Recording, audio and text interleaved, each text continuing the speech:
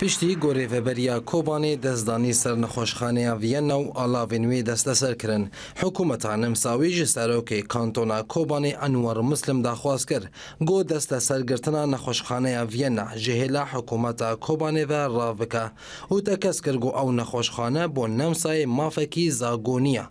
Di peyama xwe de bo Enwer Muslim Hikûmeta Nemsawî got, Gelê Kobanê dikarîbû gelek destekeftiyan giranbûha pêk bînin, lê ev nabe bahane ku destên xwe deynin li ser nexweşxaneyê û semiyanan bikeniyên xwe. Heman peyamê wisa dom kir ku ev peyam bo hatiye şandin taybet bi pirsa li barê nexweşxaneyê, nemaze ku Hikûmeta Nemsawî piştegiriya nexweşxaneyê dike, lewra pêwîste mavên semiyantiyê bê teravekirin. Birêz Ezzet Fendî welatiyekî Nemsaw ye û wî nexweşxane bi pereyên xwe damezinandine û ev yek tê wateya ku ev mafekî Nemsawî Zagonî ye.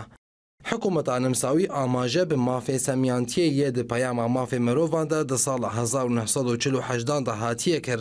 û ji hikûmeta kantonê daxwaz kir, Ku di zûtirîn dem de helwestê li barê nexweşxaneyê re bike û bi lez ber sivê ji wan re bişîne. Hêjayê gotinê ye ku nexweşxaneya Viyena li Kobanê ji hêla Îzzet Efendî bi pereyên Îzzet Efendî hatiye avakirin û wî serokê kantona Kobanê Enwer Muslim bê destesergirtina wê tewambar kir û hîn jî ti bersiveke fermî ji hêla kantona Kobanê ve derneketiye.